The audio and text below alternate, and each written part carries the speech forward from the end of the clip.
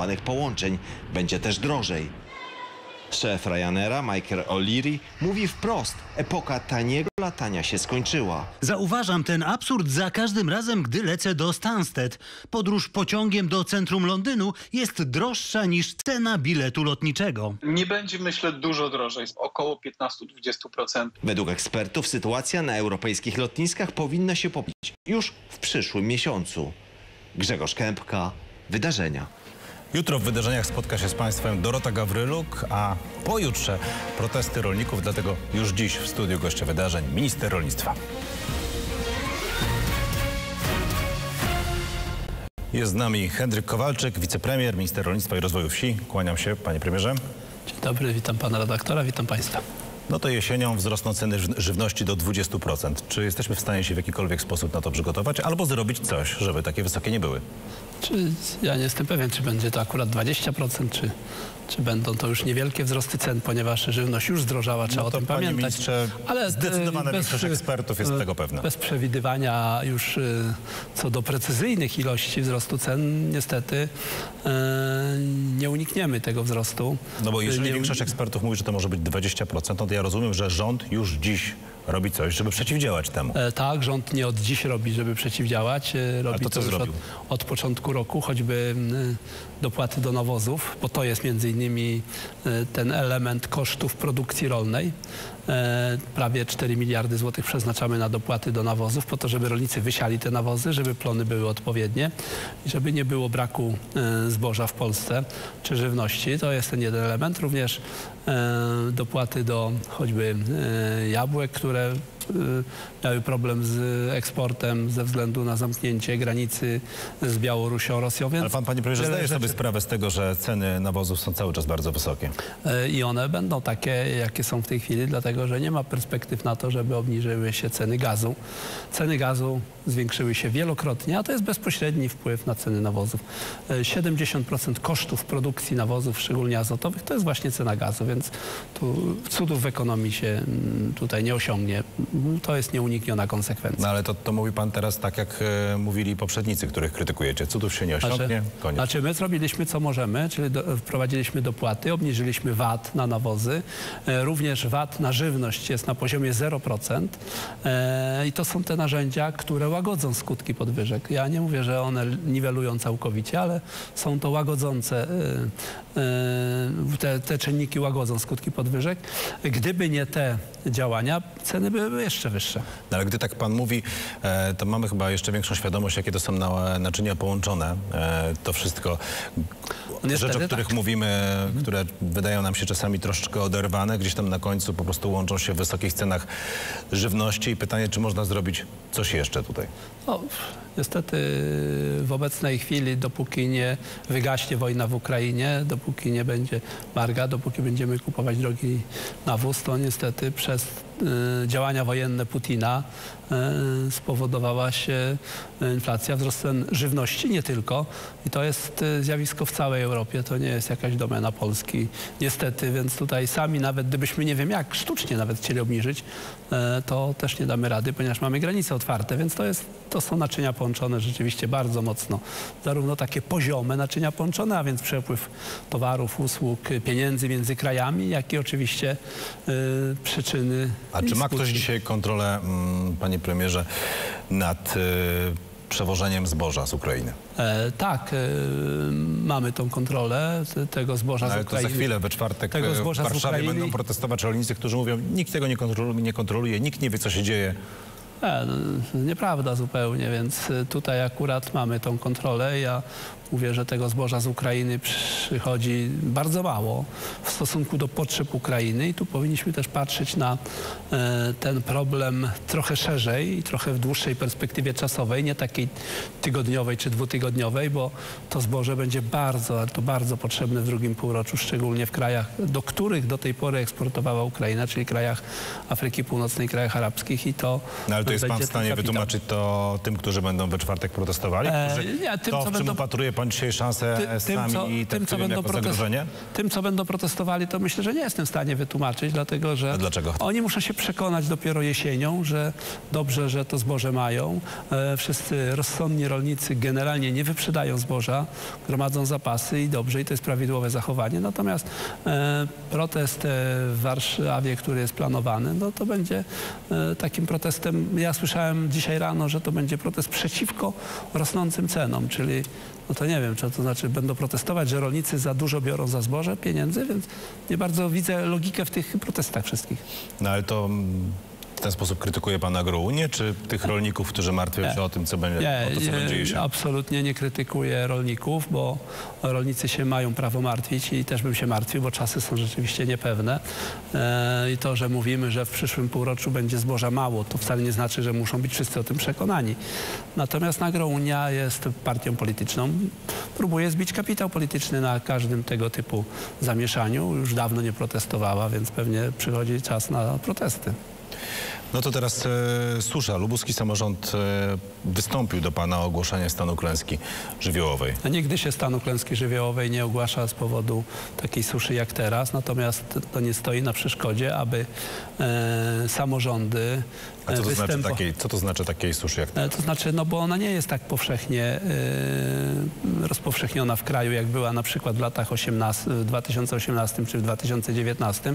Natomiast jeśli Ale gdyby wyjąć lokalnie... samo województwo lubuskie, no to tam Nie, sytuacja e, wygląda już poważnie, panie. No właśnie to nie jest aż tak dokładnie, dlatego że w tej chwili procedury mamy takie, że jeśli, jeśli jest y, tego typu zjawisko, to każdy samorząd występuje do wojewody o powołanie komisji. Te komisje szacują straty i tak naprawdę na tej podstawie podejmujemy decyzję. Ogłoszenie klęski żywiołowej nic tu nie wnosi w tym momencie. No tak, no ale zakładam, że pan zna wojewodę i gdzieś tam to z panem konsultuje. E, tak, ale, ale wojewoda, to wojewoda powołuje już indywidualnie komisję na wniosek konkretnego samorządu, bo to później wójt konkretnej gminy czy burmistrz e, tą komisją kieruje i te komisje wypracowują swoje e, protokoły e, potencjalnych strat i wtedy dopiero my wkraczamy. No ale tak pan mówi trochę jakby nie było żadnego problemu, a 68, problem jest, tylko jest- 68 gmin e, ma suszę. Ale ja nie mówię, że nie ma problemu, tylko ja wskazuję, jaka jest droga postępowania. To, to nie poprzez ogłoszenie stanu klęski susza zniknie, tylko po prostu procedura jest następująca. Wójt występuje do wojewody o powołanie komisji, komisja jest powołana, szacuje straty i taka jest kolejność postępowania. No dobrze, a pan jako minister rolnictwa, gdy słyszy o tym, że są już rolnicy, którzy domagają się tego, e, żeby wprowadzić e, taki stan, czy tak jak powiedziałem 68% gmin ma e, suszę, no to co pan myśli? Ja nie lekceważę tych sygnałów, dlatego myślę, że wojewoda powoła tę komisję, e, sprawdzi, czy jest to uzasadnione, bo też jeszcze musimy sprawdzić, e, też susza jest monitorowana może w sposób inaczej. ogólny przez aplikację, która jest prowadzona przez Instytut Uprawy Nawożenia i Gleboznawstwa w Puławach. E, na tej podstawie szacujemy zgrubnie, gdzie może jest potencjalne zagrożenie suszą i wtedy wchodzą komisje. No dobrze, to komisja teoretycznie orzeka w następujący sposób. E, no nie ma materiału, żeby to był stan klęski żywiołowej, ale jest bardzo, bardzo źle. To co robi wtedy minister rolnictwa? E, Wtedy, jeśli straty wynoszą powyżej 30% w konkretnej uprawie, e, ministerstwo może uruchomić pomoc tak zwaną klęskową, jak to uruchamiało już wielokrotnie i na to też jesteśmy przygotowani. Mamy dziś złoty, zresztą będziemy o tym rozmawiać za chwilę z naszym następnym gościem, Ignacym Morawskim z Pulsu Biznesu. Złoty szoruje po dnie. Mm, Tak można to podsumować. Jak to wpłynie na e, polskie rolnictwo w najbliższym czasie? W tym momencie można powiedzieć tak, że zawsze kurs złotego ma swoje dwie strony, dobrą i złą. Yy, Ta dobra to jest dochód dla eksporterów, więc można powiedzieć tak, że trochę przewrotnie, że yy, dzięki temu eksport się umacnia i nasze produkty rolne, które są sprzedawane yy, za granicą, dają dużo lepsze dochody przetwórcom, rolnikom. Więc to jest ten element. Oczywiście jeśli No, kupujemy, to mamy zupełnie odwrotnie. Ale długofalowo?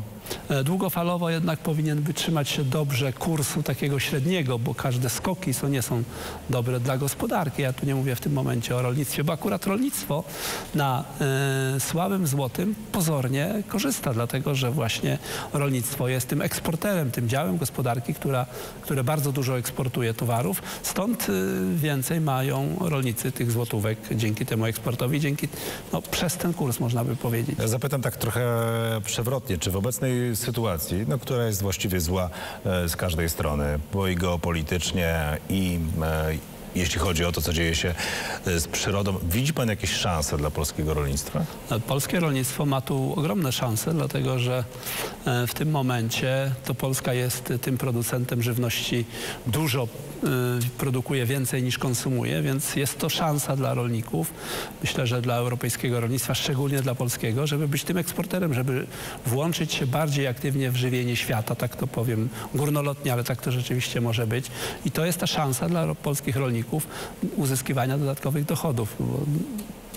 Produkcja żywności na potrzeby tylko i wyłącznie wewnętrzne kraju nie dawałaby takich y, dochodów jak szanse eksportowe, a w takim przypadku jest to szansa eksportowa. No rzeczywiście to żywienie świata to brzmi tak dość górnolotnie. O, e, ale panie tak, ministrze, e- Zwłaszcza, że dziś rolnicy potykają się często o dość podstawowe problemy. Martwią się o to, o to, czy będą mieć wodę, martwią się o te ceny przy galopującej inflacji.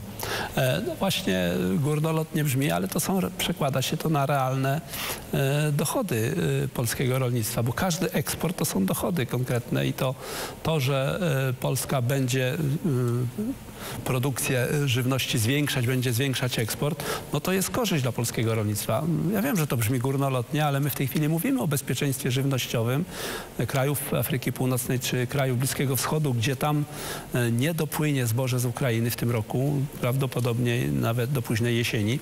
Wobec tego tutaj mm, jest szansa i dla polskiego rolnictwa, ale też i e, dla polskiego handlu, aby tam tym krajom pomagać. I to jest dla nas szansa, którą powinniśmy wykorzystywać. No to jeszcze jedna długofalowa sprawa, mianowicie woda, no bo to, co obserwujemy teraz, to, to nie jest jakaś anomalia, to jest w zasadzie początek, początek większych problemów, z którymi będziemy się borykać pewnie w najbliższych latach, problemu z wodą. Czy polski rząd robi coś, e, no żebyśmy za parę lat no nie mieli jeszcze większych problemów? Tak, jest przygotowany program retencji, czyli musimy zgromadzić y, wodę, która y, no, w odpowiednich okresach są opady, żeby nie spłynęła wszystka do, e, do Bałtyku, więc jest program retencji. W tej chwili Wody Polskie, czyli to przedsiębiorstwo, które jest powołane, e, realizuje program takich średnich zbiorników retencyjnych około 200, ale też udostępniamy środki finansowe i te programy będziemy uruchamiać w ramach funduszy europejskich, ale i przede wszystkim krajowych na taką małą retencję dla e, rolników, czyli na rowach melioracyjnych. Tylko o tej e, małej retencji bardzo dużo się mówi już od e, dawien dawna, nawet w kampanii prezydenckiej. Ona się pojawiła, a niewiele się tu dzieje. W- tej chwili ta mała retencja jest wpisana w Krajowy Plan Odbudowy i tutaj te programy są przygotowane i w momencie, kiedy uruchomimy jesienią już nabory w ramach tego e, programu, będą również nabory na małą A retencję. jakie pan minister da nam gwarancję, że Krajowy, Krajowy Plan Odbudowy zostanie odpalony właśnie? E, Znaczy gwarancji tutaj nie dam, jeśli chodzi o środki europejskie, natomiast y, daję gwarancję, że i tak, i tak nabory będziemy uruchamiać, y, bo i tak musimy rozpocząć to od środków krajowych. No to mm, tak gładko przechodząc, bo te tematy trochę się łączą, e, mianowicie e, KPO, do którego możemy jeszcze wrócić. Natomiast e, dzisiaj e, podczas posiedzenia rządu podjęto uchwałę. Ta uchwała już e, nazywana w sieci jest taka antysolidarna Polska. E, jakie będą sankcje dla ministrów, którzy będą mówić e, nie te rzeczy, które Rada Ministrów chce, żeby mówili? E, Nie wiem, jakie będą sankcje, nie mówiliśmy o sankcjach, natomiast był apel o to, żeby jednak e, dyskusja, która jest wewnątrz rządu naturalnym zjawiskiem i każdy ma różnice zdań, są uwagi do wszystkich projektów na różnych Ale zaraz, zaraz, to etapach. jest taka uchwała, która jest ale taka... jeśli- Apelujemy? Nie, ale jeśli już podejmiemy decyzję, ale Panu jeśli ministrowi powiem, jak wy tylko apelujecie, to będzie dalej tak jak było. ale jeśli e, na razie jest to apel, natomiast jeśli podejmiemy decyzję, to powinniśmy prezentować jako rząd tą podjętą decyzję. Taka jest e, zawsze logika postępowania, że jeśli e, ciało kolegialne podejmuje decyzję, oczywiście podczas podejmowania decyzji czy przed podjęciem może być bardzo e, duża i ostra dyskusja, natomiast jeśli już coś postanowimy, to znaczy, że jest to nasze wspólne postanowienie i to postanowienie Jestem bardzo ciekawy, czy ta uchwała została przyjęta przez aklamację, większością, jak głosował minister Ziobro. Została przyjęta przez rząd. No dobrze, większością. E, to Wszyscy byli za, Nie jednogłośnie było. Jak było, pani? A, a, a no wiecie pan, panie redaktorze, i teraz y, to jest coś, co jest y, ku- kuchnią podejmowania decyzji, czyli oczywiście była też dyskusja na temat tej uchwały, ale to nie o tej Ale dyskusji chcemy Myślę, mówić, że tylko wyborcy mogą wiedzieć. o efektach, o efektach I, i właśnie ta uchwała ma pokazywać... Ja to tak czuję, jakie będą efekty, ale ciekawi mnie, jak z tym walczycie. Te, te, ta uchwała ma pokazywać y, postanowienia, a nie dyskusje y, przygotowujące do postanowień, bo bardzo często tych uwag jest przy konstruowaniu wszelkich aktów legislacyjnych bardzo dużo, bardzo dużo dyskusji. Na końcu Mam nawet takie podejrzenie, projekt. że ta dyskusja w mediach jest czasami większa właśnie niż na posiedzeniu rządu. E, No nie, nie sądzę. Na posiedzeniu rządu naprawdę są dyskusje bardzo e, Znaczy nie, no ja tego nie zabierać, zresztą nie, było mnie tam, tylko merytoryczne, wydaje mi się, że czasami łatwiej się dogadujecie w swoim gronie, niż gdy robicie to przez media. Ja nie sądzę, żeby tak było. Może to jest takie wrażenie, bo to, co w mediach, to widać, a to, co wewnątrz rządu, tego nie widać, dlatego A może być to takie porównanie. Solidarnej Polski sprawi, że będziemy, wracam do poprzedniego wątku, bliżej To nie, jest, Planu to nie jest dyscyplinowanie Solidarnej Polski, to jest dyscyplinowanie każdego ministra. Y, Też ważne, zaraz, zaraz. Jeżeli E, jest bo tak, też płynie pewien przekaz e, z KPRM-u i Solidarna Polska mówi coś innego, no to jest to dyscyplinowanie Solidarnej Nie, to każdy tak odbiera. Ja odbieram to jako dyscyplinowanie Każdy, nie moje. pan. M- Dla mnie y, moje Ale pan jest dyscyplinowanie. dyscyplinowany. Y, Dlatego, że też y, tam, na co zwracam uwagę, to jest też takie, taka, żeby ministrowie zachowali czujność w tym względzie, żeby też nie komentowali decyzji innych ministrów, bo nie mają pełnej wiedzy. Ja zawsze unikam komentowania czy wypowiadania się na tematy, do których nie mam szczegółowej wiedzy. Zawsze e, wolę to robić e, tem, tematami, które ja się zajmuję, a nie komentować e, kolegów czy koleżanki z rządu i oczekuję tego też również e, z wzajemnością.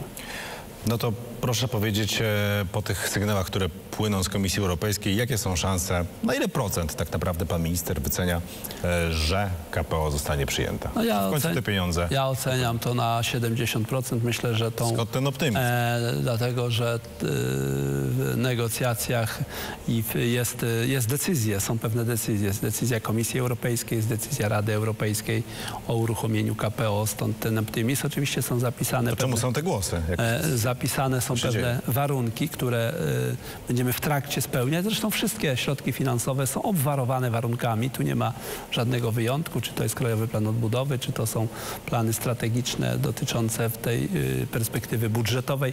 One mają pewne warunki, że trzeba je wydawać zgodnie z prawem, unikać, y, dbać o to, żeby nie było korupcji. Panie ministrze, E, zaraz czy na przykład środowiskowe warunki spełnić końca, i ale tak dalej. wytłumaczy pan e, widzom Polsat News, bo my żegnamy się z główną anteną e, Polsatu i przenosimy na stronę główną Interi i do Polsat News.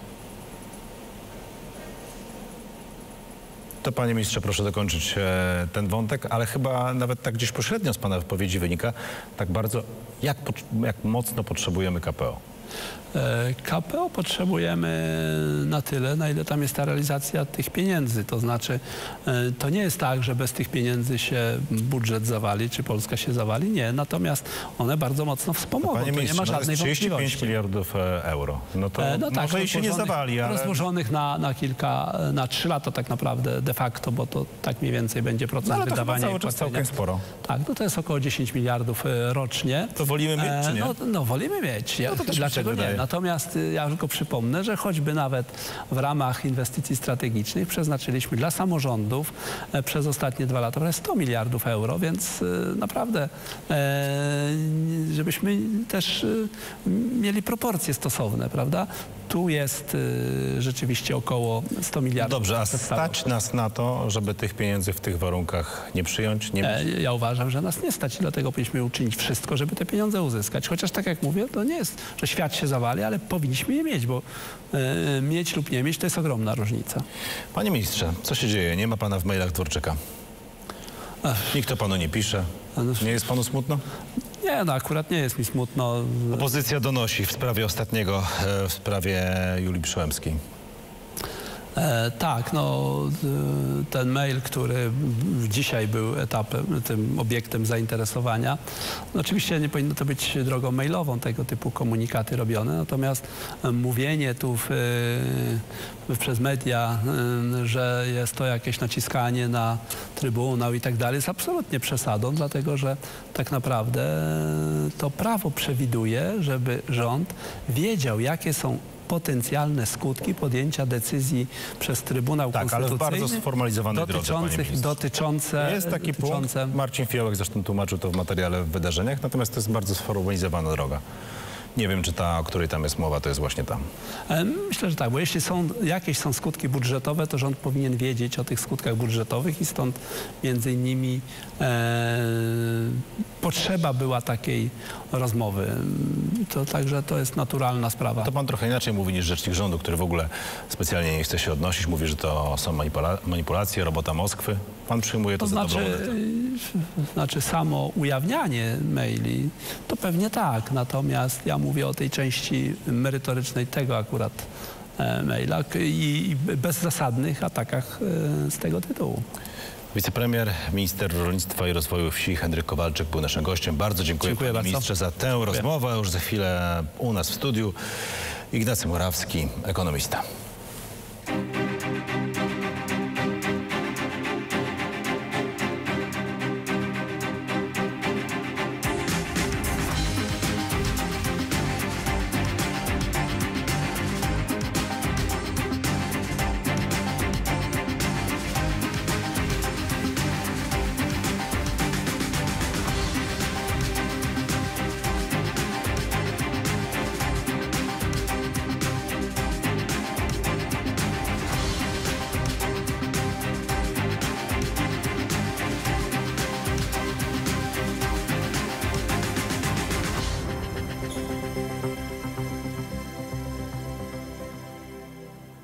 No widzieli Państwo, skarbonka pękła. Zobaczymy, czy to jest w jakiś sposób prorocze.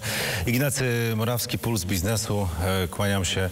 Dzień dobry, dobry wieczór. Ostatnie tytuły, te najgorętsze e, ze stron biznesowych, tych internetowych, e, no bo taką mamy dynamikę sytuacji. Złoty na deskach, złoty szoruje na dnie. To co to będzie oznaczać dla nas w najbliższym czasie? Czy generalnie dzisiaj nie tylko tracił złoty, ale doszło do dużej przeceny różnych aktywów na świecie. Traciła m.in. ropa bardzo, inne surowce, metale, żywność. Co ciekawe, bo jeszcze miesiąc temu e, bardzo dużo mówiono o tym, że wysokie ceny zboża spowodują głód na świecie. Tymczasem w ciągu dwóch miesięcy ceny pszenicy na świecie spadły o około 30%. 30%. Więc mamy e, głęboką przecenę wielu aktywów na rynkach związaną z jednym głównym czynnikiem, obawami przed globalną recesją. A właściwie można powiedzieć, że świat już powoli wkracza w recesję. No, dla nas co to oznacza? E, przede wszystkim e, prawdopodobnie recesję także u nas, czyli wchodzimy w czas trudniejszy gospodarczo. Się os- oswajamy z tym powoli. Mi się wydaje, że się z tym powoli oswajamy. Teraz główne pytanie jest takie, czy ta recesja będzie głęboka, czy nie. Wydaje mi się, że na razie widać spore szanse na to, żeby ona nie była e, bardzo głęboka. Ale jednocześnie, jak spojrzymy na to, co się dzisiaj stało, no bo e, pan powiedział słabszy złoty. Słabszy złoty oznacza teoretycznie e, większy problem dla inflacji, bo drożeją towary, które importujemy, więc słabszy złoty oznacza wyższą inflację, ale jeżeli jednocześnie mocno spadają ceny ropy, mocno spadają ceny surowców, to ja bym powiedział, że dzisiejszy dzień jest e, kryzysowo antyinflacyjny. Tak? Więc je, jeżeli w ogóle jakieś światełko na horyzoncie w tym dość ciemnym obrazie można dostrzec, to takie, że pewne czynniki podbijające inflację na całym świecie powoli odpuszczają. A nie chcę powiedzieć, że zaraz inflacji nie będzie, tak? No to chcieliśmy usłyszeć, szczerze mówiąc. Pewne, no nie, tego nie powiem, ale pewne czynniki, które były istotnym, e, istotnym silnikiem dla inflacji, powoli zaczynają wygasać. To jest tak, że tak rzadko mówimy ostatnio o czymkolwiek pozytywnym, że będę się chwytał wszystkiego, e, co mogę od pana usłyszeć. To po czym pan wnioskuje, że ta recesja nie będzie jedną z tych głębszych? E, No jest zapewne ki- kilka czynników. Przede wszystkim głębokie recesje, jak spojrzymy na historię, zwykle wynikały z jakiegoś przeinwestowania. czyli e, ogromnego zadłużenia, głównie sektora prywatnego, e, wzrostu inwestycji i później krachu. Tak? Czyli w pewnym momencie inwestorzy, podmioty gospodarcze zdawali sobie sprawę, że ta masa inwestycji w jakiejś branży, w jakiejś dziedzinie albo ogółem w gospodarce jest nierentowna i gos- struktura gospodarki musi się zmienić. To, taki dobry przykład to jest wielki kryzys finansowy 2009 roku. Ogromne inwestycje w Stanach Zjednoczonych na rynku nieruchomości, później się okazało, że nie do końca zyskowne, nastąpił krach, e, a ponieważ te inwestycje były finansowane kredytem, to przy okazji też banki zaczęły upadać. Dziś wydaje mi się, że na świecie nie mamy takiego przeinwestowania. Tak? Nie mieliśmy takiej fali wielkiego optymizmu, e, na której rosły wielkie e, inwestycje e, przedsiębiorstw. Ta, e, ten cykl, który obserwujemy w gospodarce wynika bardziej z, z akumulacji zapasów przed, prze, przez przedsiębiorstwa, z takiego opóźnionego efektu po, inflacyjnego po pandemii. Więc wydaje mi się, że e, ta nierównowaga w gospodarce, to zaburzenie, które obserwujemy, nie jest aż tak wielkie, żeby wywoływać wielką recesję. Ale oczywiście są też czynniki, które e, mogą sprawić, że, że ten kryzys będzie głęboki. No, gdyby się okazało, że Rosjanie całkowicie odcinają dopływ gazu do Europy i ograniczają wydobycie ropy, na przykład, tak? no to jestem sobie w stanie wyobrazić, że ceny energii będą tak wysokie, że pchną tą gospodarkę w jeszcze głębszą recesję. Także to, co dzisiaj cechuje sytuację, to jest e, ogromna niepewność. Zawsze w gospodarce jest niepewność. Nigdy nie wiemy, co się wydarzy. Ale dziś ta skala scenariuszy jest bardzo szeroka i podam dobry przykład, który to obrazuje. Wczoraj dwa duże amerykańskie banki inwestycyjne opublikowały swoje prognozy dla cen ropy. Jeden bank e, napisał, że jeżeli Rosjanie ograniczą produkcję, to baryłka ropy będzie kosztować prawie 400 dolarów. Drugi bank napisał, że recesja sprawi, że baryłka będzie kosztować 60 dolarów czy 65. Że to jest jakby zasięg scenariuszy dzisiaj rozważanych jest e, bardzo, bardzo No szeroki. dobrze, ale to tak paradoksalnie z tego, co pan e, powiedział, płynie do człowieka, który sobie tam e, liczy budżet, taki bardzo prosty przekaz. Nie do końca wiemy, co się dzieje. A jak nie do końca wiemy, co się dzieje, to być może na przykład należałoby zmienić swoje nawyki konsumpcyjne, może należałoby oszczędzać, może należałoby mniej pochopnie wydawać pieniądze w różnych celach. A ponieważ znamy konstrukcję polskiego PKB i wiemy, jak e, duża jego część ufundowana jest na popycie wewnętrznym, no to możemy się martwić, czy to nie zacznie słabnąć. E, Ewidentnie tak będzie. E, Sam wzrost stóp procentowych sprawia, że ludzie prawdopodobnie zwiększą e, część dochodu, którą oszczędzają, czyli który nie konsumują. No bo można powiedzieć, że już niektóre lokaty czy oprocentowanie niektórych obligacji staje się atrakcyjne, biorąc pod uwagę nawet perspektywy inflacji. E, Ja nie chcę powiedzieć, że bardzo zyskowne, tak? No ale jeszcze do niedawna stopy procentowe po uwzględnieniu inflacji były bardzo ujemne. Dziś to się powoli zmienia, więc to będzie jeden czynnik. I drugi czynnik to jest tak zwane oszczędzanie przezornościowe. Oszczędzanie przezornościowe to jest takie zjawisko, kiedy ludzie zmniejszają konsumpcję i zwiększają oszczędności, bo się boją. E, I ewidentnie jest tak, jak pan mówi, czyli w sytuacji, w której rośnie niepewność, czyli zasięg tych możliwych scenariuszy jest nie tyle szeroki, co ekstremalnie szeroki, e, to wtedy rzeczywiście ludzie zwiększają e, swoje oszczędności, zmniejszają konsumpcję. Co to oznacza dla gospodarki? Dla gospodarki to oczywiście oznacza e, spowolnienie albo recesję. Przy czym ja sądzę, że jeżeli chodzi o samą konsumpcję, to w Polsce jeszcze nie musi być tak źle, bo mamy, mamy jeszcze impuls konsumpcyjny, który pochodzi po pierwsze z napływu uchodźców, to jest jednak e, około miliona, półtora miliona ludzi. Bardzo trudno powiedzieć, ile ich dokładnie jest, ale na pewno dużo, tak? I oni kupują, kupują żywność, środki czystości, e, środki higieniczne, różnego rodzaju podstawowe usługi transportowe, tak? To podnosi konsumpcję.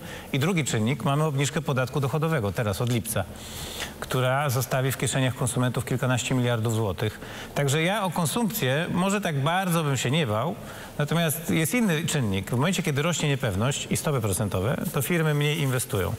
I zwykle inwestycje są tym czynnikiem, który pcha gospodarkę e, w dołek. I sądzę, że pewnie e, tym razem e, też tak będzie. No to chciałem jeszcze zapytać też o coś, o co pan wspomniał, czyli stopy procentowe. Czy to jest tak, że mm, ogromna rzesza kredytobiorców jest przygotowana, była przygotowana nie mentalnie, ale też finansowo na to, co się dzieje, bo raty kredytów wzrosły po 100% w niektórych przypadkach, wzros- wzrosną jeszcze bardziej.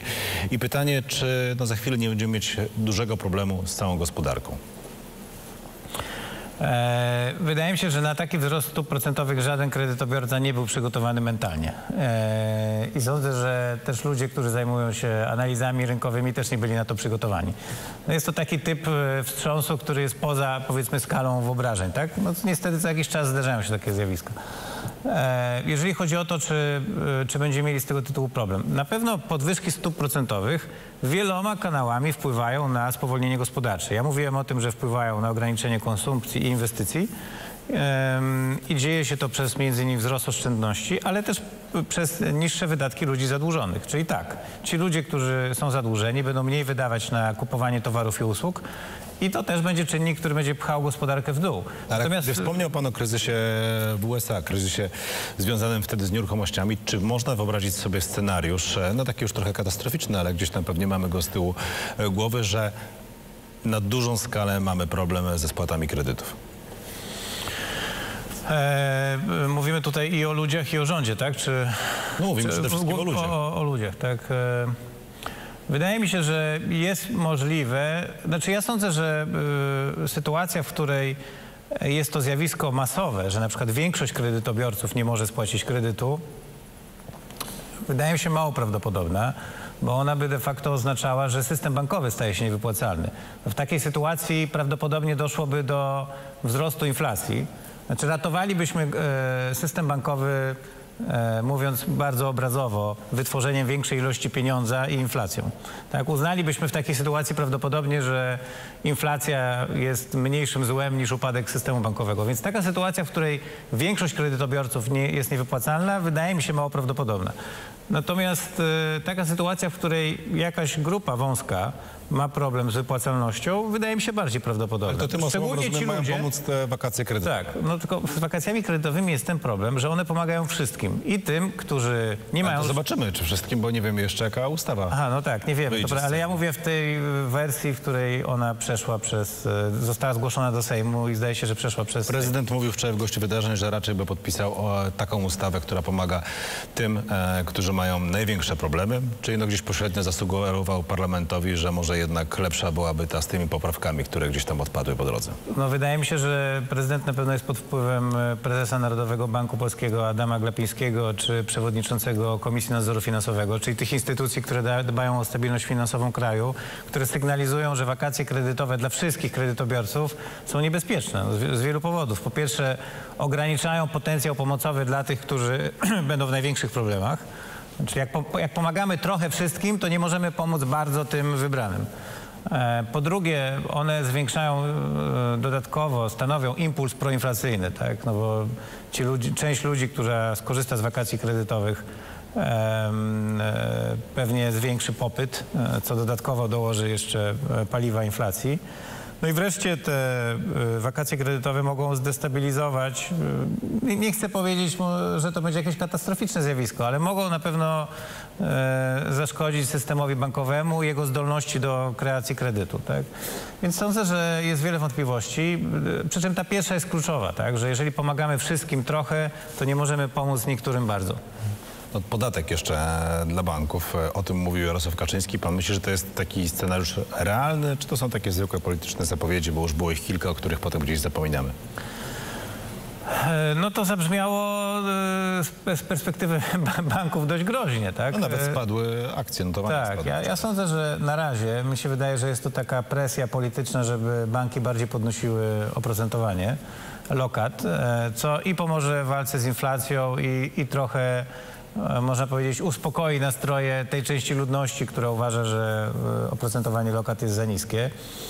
E, natomiast kto wie, no jeżeli rząd będzie miał problem z finansowaniem e, części wydatków, to możliwe, że odwoła się do jakiegoś, e, do zwiększenia podatku bankowego. Przy czym wydaje mi się, że wprowadzenie i wakacji kredytowych, i podatku bankowego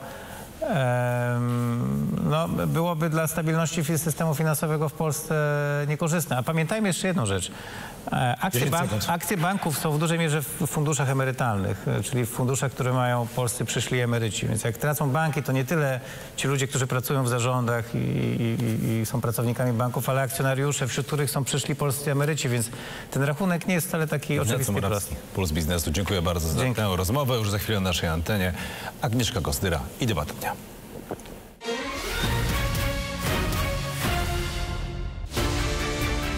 Już dziś.